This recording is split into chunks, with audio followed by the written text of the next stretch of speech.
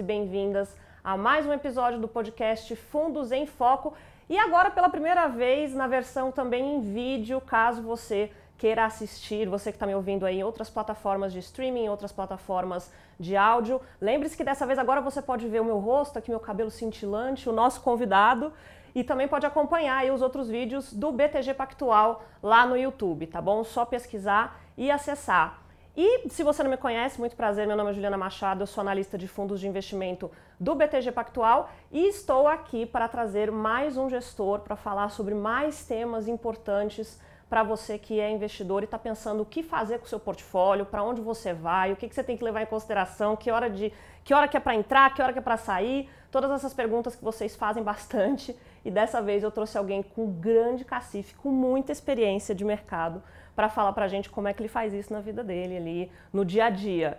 Eu tenho o grande prazer de receber aqui o Carlos Vols, que é sócio fundador e também gestor da Capital Investimentos. Vocês é a primeira vez em vídeo, né? Vocês podiam ter trazido alguém bonito. então, então, assim.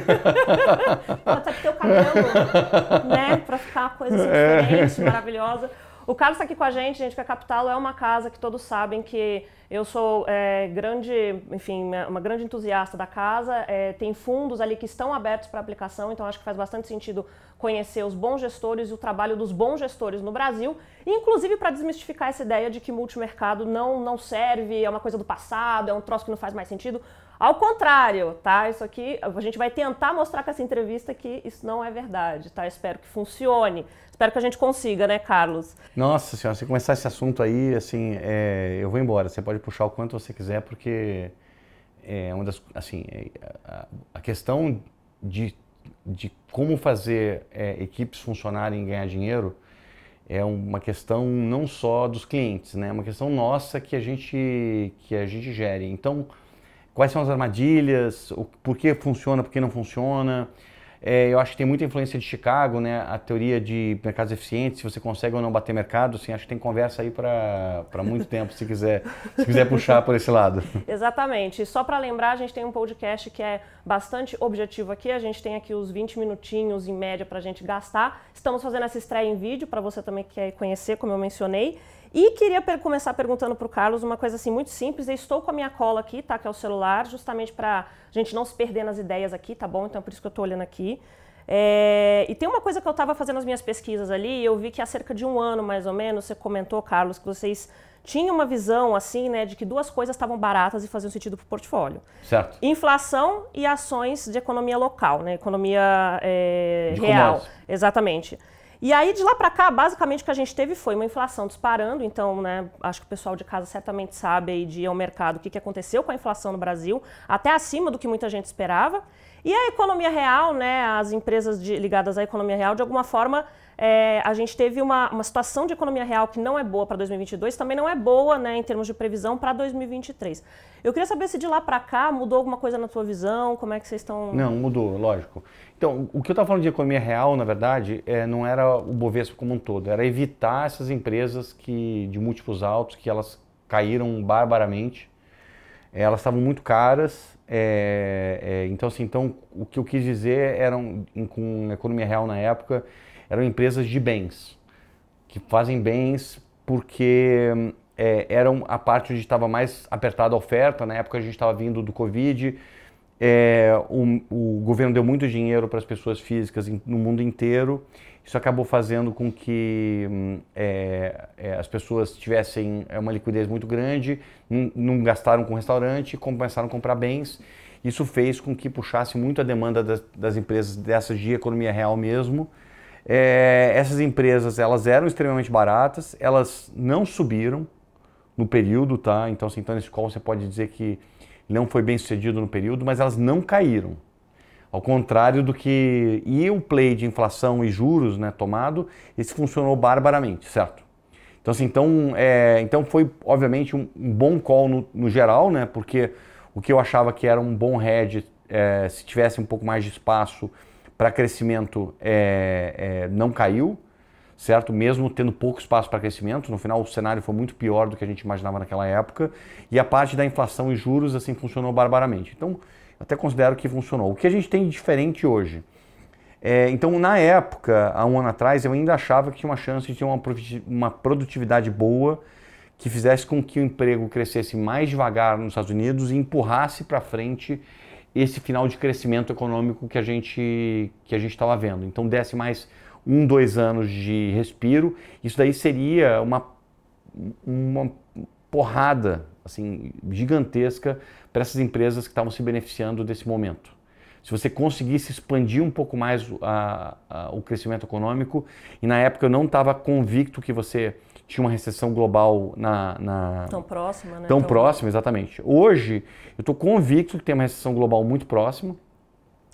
É, então, assim, então, é, e o motivo basicamente é porque a inflação subiu demais, subiu muito mais ainda do que a gente imaginava.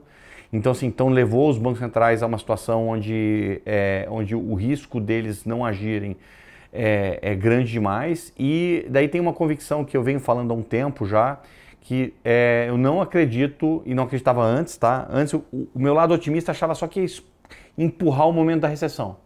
Eu não acredito em pouso suave. Eu não acredito em um período curto de crescimento baixo que vai botar a economia global nos trilhos. Eu acredito, eu acho que vai ter uma recessão mesmo. É, provavelmente não vai ser uma recessão como a gente viu é, nem no Covid, nem é, em 2008, 2009, que foram exceções, foram recessões muito, muito mais fortes. Então, recessão global também não é esse bicho-papão que as pessoas pensam. Não é um negócio que, é, que necessariamente muda radicalmente, permanentemente para o panorama de investimentos. As pessoas precisam ser um pouco mais calmas também com recessão global. Recessão global é uma coisa que acontece. Uhum. Antigamente acontecia com uma frequência maior.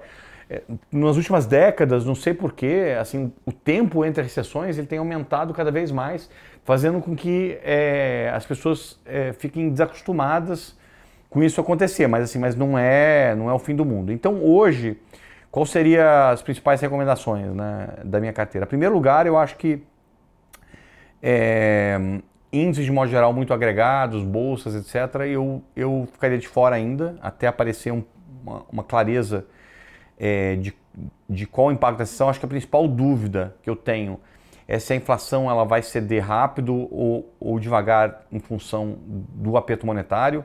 Então, vai ter uma desaceleração forte. O que vai acontecer com a inflação? Se a inflação ceder rápido, é, principalmente na parte de serviços, eu acho que o mercado vai se animar para comprar. É, vai olhar para frente, vai falar assim, olha só, é, é, é o, tem essa queda de resultados, que os resultados da empresa vai cair, mas assim como fez com o Covid, vai chegar um ponto que o mercado vai parar de olhar para a recessão e vai olhar para os próximos anos. Mas o mercado vai falar assim, limpou o problema. E daí vou, vou voltar a comprar. Se a inflação demorar mais para ceder, pode ser um buraco muito, muito maior. Como eu não consigo ver qual dos dois cenários que é, eu não acho que é adequado pensar em compra é, de índices nesse momento. Né? É, na parte de ações específicas, eu acho que dá para comprar algumas ações específicas. É, tem empresas muito baratas, eu acho que o setor de commodities em particular, que é o setor que eu já gostava, é, ele desalavancou barbaramente, não vai quebrar, é, porque não tem endividamento, mesmo com uma queda gigantesca de preços de commodities, que provocaria uma queda muito significativa de inflação se acontecesse, portanto, traria uma calma para o mercado. Mesmo assim, as empresas vão gerar caixa, mesmo com essa queda. Então, assim, então, e são empresas que estão em valuation num preço absurdo. Então, tem algumas, alguns setores que eu acho que já precificam a recessão global de maneira significativa, já precificam um cenário de Brasil muito ruim, e eu acho que, que a questão é não é se vai comprar ou não, é quando comprar. Se você espera um pouquinho mais, se você compra agora, porque é, são poucas vezes ao longo do tempo que você vê níveis de precificação é, como elas estão. E assim, tem que tomar cuidado com um negócio que a gente chama que é value trap. São empresas que parecem muito baratas, mas que na verdade estão caminhando para quebrar, ou que nunca vão se recuperar, ou que não vão gerar caixa, ou que estão no mercado que vai, é, que vai é, se extinguir. Certo? Assim, eu não acho que nem tem chance de quebrar pela alavancagem, nem vai se extinguir é, então, assim, então, eu acho que é valor de verdade. Eu não acho que é um value trap. Tá? Então, é, embora eu não seja um grande especialista em, em, ações, eu sou um cara mais macro, uhum. eu vejo valor. A outra coisa que eu acho que é bem interessante é, é pegar. A gente teve esse ciclo agora de alta de juros e de aumento da inflação, e a gente tem que refletir um pouco sobre qual é o próximo ciclo, principalmente na parte macro. Né? E o próximo ciclo é depois que o Fed subir para matar essa economia, provavelmente vai trazer o dólar para um nível muito mais apreciado. E eu acho que vai ser provavelmente o último respiro aí do dólar forte. Uhum. Eu acho que tem que mudar um pouco as carteiras mais na direção é, um pouco mais diversificada. Não olhar só para os Estados Unidos como o pessoal olhou nos últimos anos. Uhum. É, porque a competitividade americana está muito ruim, os números é, externos americanos são horrorosos. É, então tem um conjunto de fatores que eu acho que. E, e, o nível de preço, né? As bolsas fora dos Estados Unidos caíram muito significativamente, estão num, num valor é, muito. É, que já coloca no preço que, que, cresce menos, já coloca no preço é, as desvantagens relativas que, assim, que os outros países têm em relação aos Estados Unidos. É, então, essa combinação de um fundamento de fluxo muito ruim com a necessidade de você trazer dinheiro o tempo todo para tapar esse buraco nas contas externas americanas faz com que eu acho muito pouco provável que você tenha é, um dólar forte como você teve. Acho que o fim do dólar forte vai vir. Então, é, é enfim, está cada vez mais próximo, eu acho, é, mas não chegou ainda. É, e a outra coisa é começar a olhar é, é, acho que a gente tem um jogo hoje de é, foi de mais, foi de menos né, na economia global que dá para jogar. País a país, você olhar assim, olha só, a economia está desacelerando o suficiente, vai ter que fazer mais, como é que está a inflação. E daí você vai ter que jogar caso a caso, olhar direitinho, mas não é um jogo tão fácil ou tão simples quanto era no começo. As taxas de juros subiram muito no mundo. É, você está desacelerando já, já tem uma desaceleração global é, que está acontecendo. É, vieram dados de indústria esse mês bem significativos, estão vindo antes do que eu imaginaria essa desaceleração.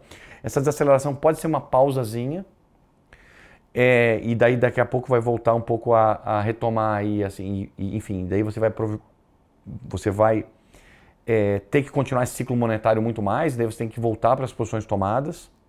É, mas tem um outro jogo, né, que assim, que além dessa discussão de vai, de vai que dá para jogar que vai mais, vai menos a partir de agora, com base nos dados, tem um outro jogo que é, é se você está convicto que o Banco Central vai matar a economia ou não.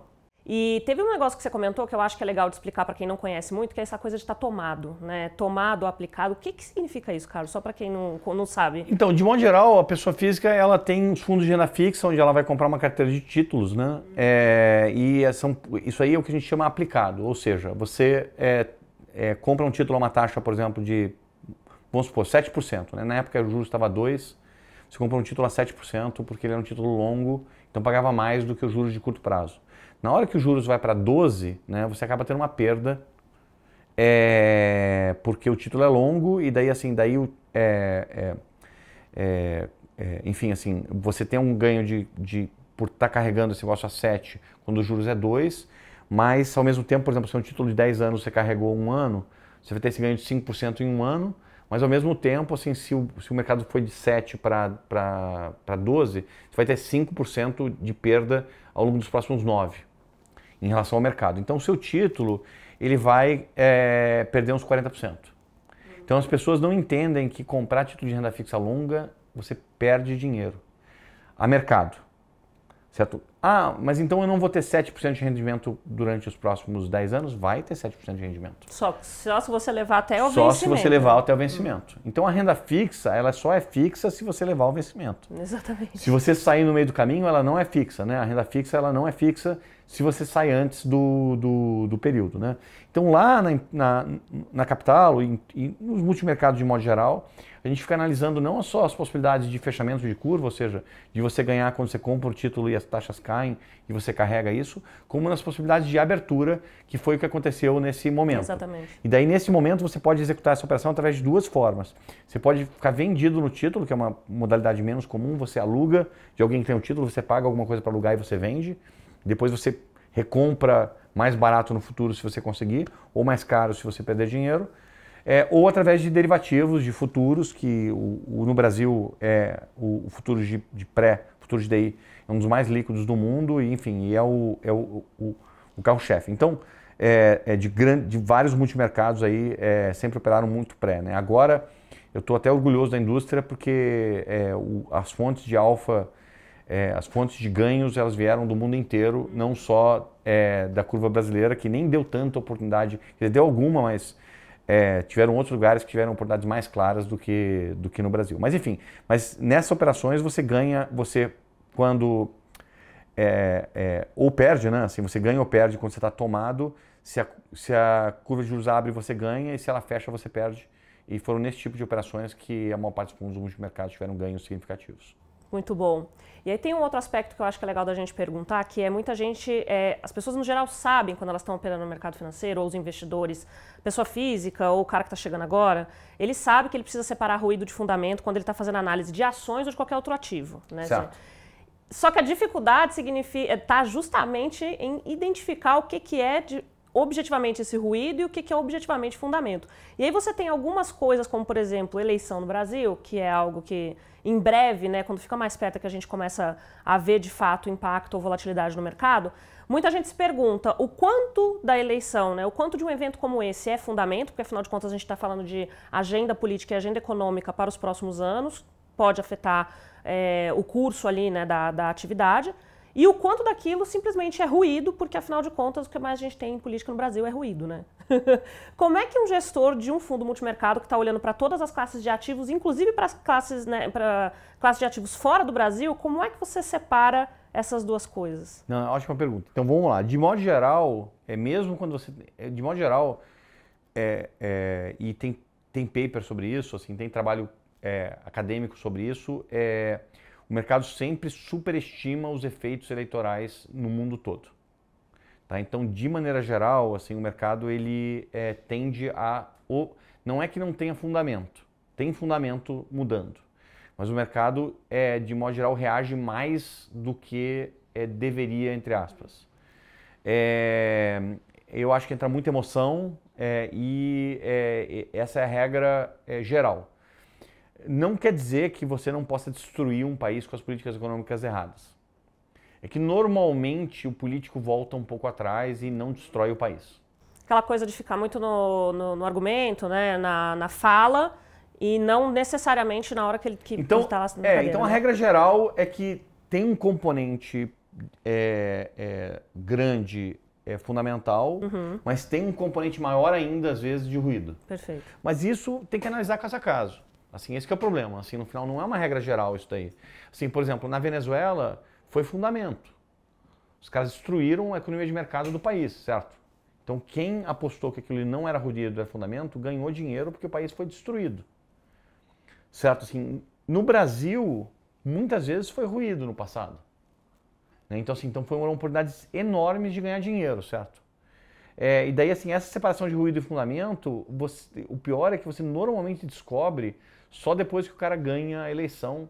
Porque antes de ganhar, é, tem muita, muito discurso eleitoral, uhum. assim, no final, o candidato não tem incentivo para ser muito claro sobre o que ele vai fazer, porque quando ele é claro, ele começa a contrariar interesses.